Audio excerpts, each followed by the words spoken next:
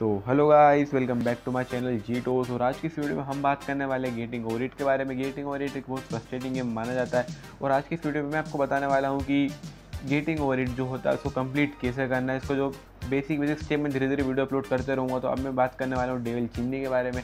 Devil chimney एक बहुत ही hard spot होता है बिगनर्स के लिए। तो आपको सबसे पहले जो लैम्प दिख रहा है, उसको हिट करना है। और जो राइट साइड में एक अपनी वॉल होती है, उसको हिट करना है रैपिडली जैसे रैपिडली हिट करेंगे, आप वो लैंप ग्रैप कर लेंगे अपने हैमर से, फिर एक जंप लेके सेकंड लैंप को ग्रैप करके सेकंड लैंप के ऊपर आराम से बैठ जाना, इससे कोई दिक्कत नहीं आएगी, ठीक है? जैसे आप अपना हैमर ऊपर के साइड लेके जाना है, और जो अपना जो स्टोन है, जो बड़ा स्टोन है, जिस पर लैंप लगा हुआ है आपको उसके ऊपर जाके बैठ जाना है। और सिंपली यहाँ से पोगो जंप लेनी है जैसे आपको दिखाता हूँ, जैसे पोगो जंप कैसे लेते हैं। और ये जो मैंने पोगो जंप ली और हैमर से ग्रैप करा और आप डेवल चिमनी कंप्लीट कर चुके हैं। बड़ा इजी था, कुछ हार्ड नहीं था इसमें।